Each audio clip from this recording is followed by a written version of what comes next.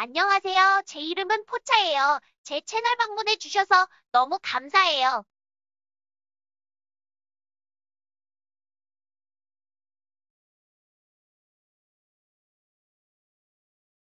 오늘은 포차가 트로페스타 제2회 공연이 예정되어 있는 대구 엑스코를 미리 다녀왔어요.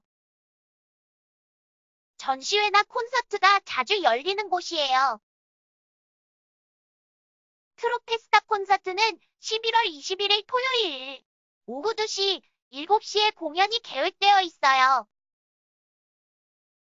트로트의 여왕 장윤정 님도 이곳에서 12월 12일 토요일 공연이 예정되어 있어요.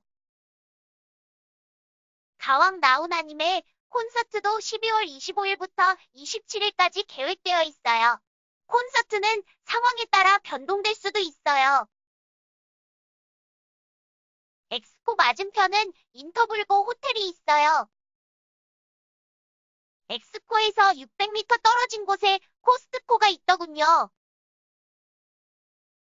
엑스코가 위치한 대구 유통단지는 의식주에 관련된 제품을 편리하게 구입할 수 있는 곳이라고 합니다.